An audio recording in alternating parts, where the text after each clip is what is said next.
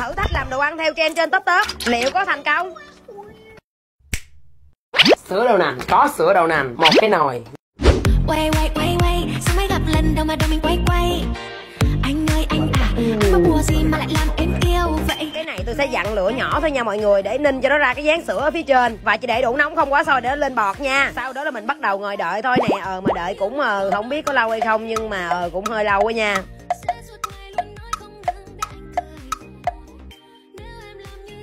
thơm lắm luôn á. Sau đó mình bắt đầu qua cái bước là mình để cho nó nguội để nó kết tủa thành cái ván ở trên. Rồi đợi tới cái lúc mà máy quay hết pin chuyển qua điện thoại xong chuyển qua lại máy quay mà nó vẫn chưa có kết tủa lại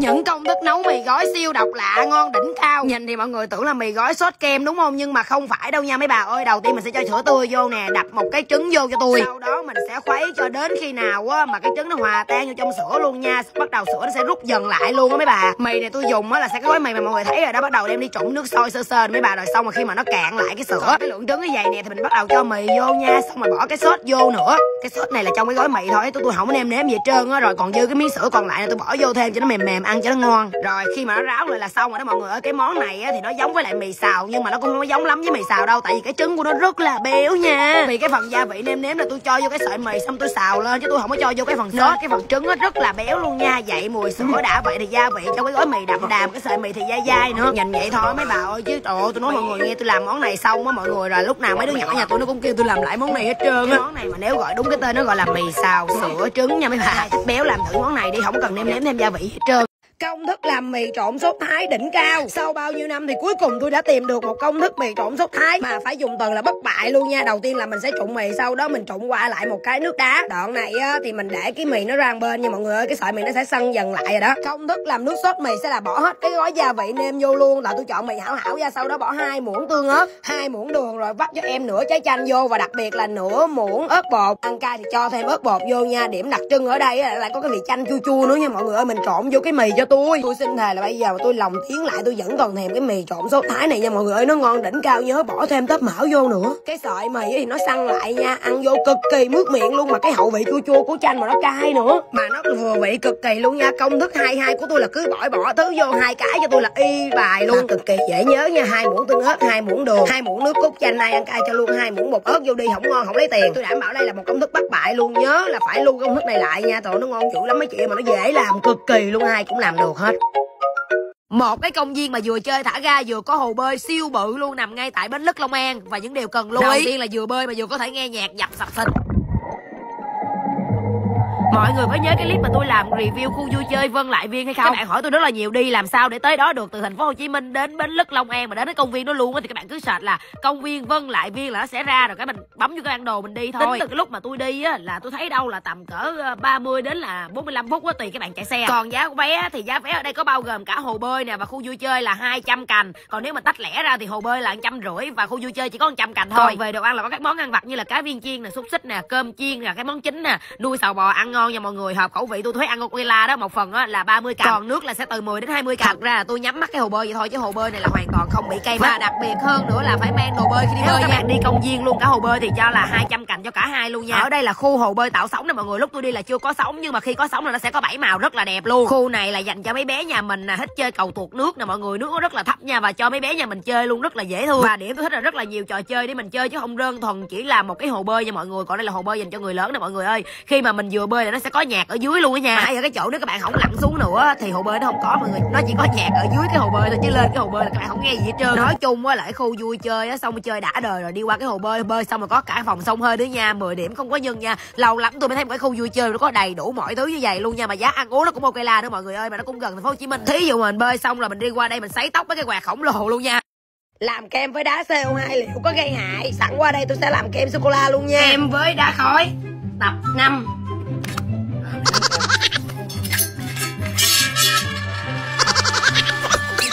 à!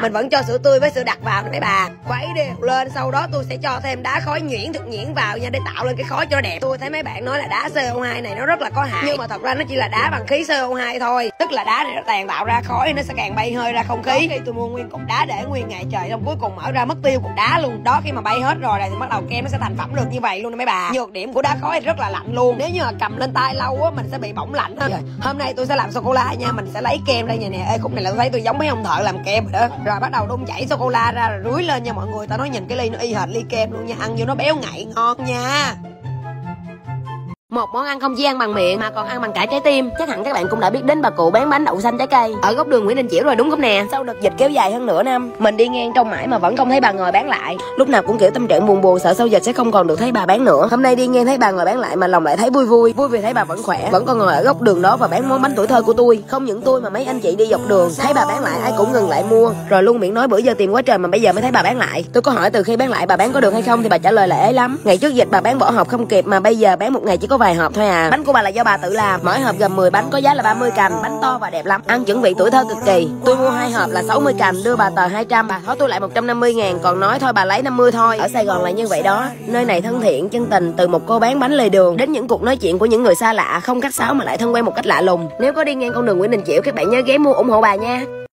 Không biết sau cái vụ bạn mèo béo này có bạn nào giống tôi không nha? Chỉ cần nghe đúng cái nhạc này thôi nha mọi người là tự nhiên tôi khóc rồi. hoa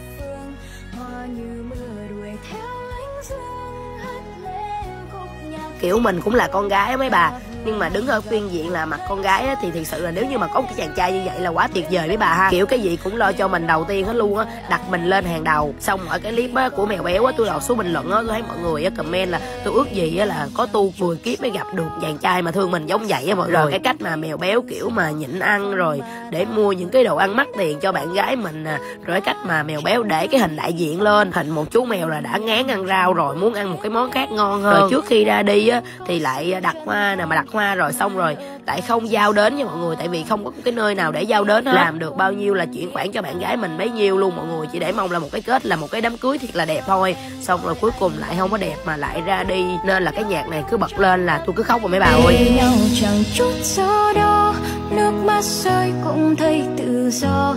Phòng bà ta vượt không đắn đo bởi ta chẳng ngừng hy vọng. Bởi vì anh chọn bước sự chân thành, mai lỡ ta rời xa. Từng ký ức luôn luôn thiết tha. Đây là tô hủ tiếu rẻ nhất Việt Nam, tô hủ tiếu 10 ngàn. Hủ tiếu bà Sẩm nổi tiếng chứ danh ở Đồng Tháp luôn. Nằm ngay thành phố Sa Đéc, tôi đảm bảo mấy bạn ăn một lần thôi là nhớ cả đời luôn nha mấy bà ơi. Nhất định đi Đồng Tháp phải kiếm chỗ này ghé liền cho tôi một tô hủ tiếu 10 ngàn. Thiệt sự luôn cái quán nhìn nhỏ xíu vậy thôi nha Nhưng mà khách ra vô nườm nượp và cực kỳ đông nha mọi người. Đây là tôi đang đi cái giờ lỡ cỡ lỡ cỡ nha mọi người Nhưng mà khách cũng đông từ nhà trên tới nhà dưới luôn Và đây là tô hủ tiếu 10 ngàn trong truyền thuyết nè mọi người. Đây là hủ tiếu nước nha Nhưng mà tới đây á các bạn nên gọi là hủ tiếu khô cho tôi. Nếu như mà ăn hủ tiếu khô rồi là về không thể nào quên được cái vị này. Một tô hủ tiếu 10 ngàn nhưng mà vẫn có thịt nha mọi người ba bốn lát thịt luôn nha. Mà cái sốt trộn hủ tiếu khô ở đây đỉnh cao lắm mọi người ơi nó là một cái gì đó mà không thể diễn tả được nha ngọt ngọt nha mọi người đậm đà nha. Và cái sợi hủ tiếu thì dai rất đặc trưng luôn. Mà không hiểu sao ở đây ninh nước dùng nó ngọt lắm nha mọi người ơi nó ngọt thanh luôn á mọi người nó ngọt thanh tao nó ngọt dễ chịu nó ngọt rất là đã. Cái này là ý kiến riêng nha bà con miền tây của mình rất là dễ thương mọi người ơi. Tôi gặp anh kia anh kia anh nói tụi anh thấy tôi trên tết xong tự nhiên cái chút ra tính tiền anh cả luôn cho tụi tôi mọi người. Cảm giác mà những con người mới gặp nhau lần đầu mà người ta đối xử tốt với mình nó, ồ, nó vui gì đâu anh mà thấy cái clip này là cho tụi em cảm ơn nha.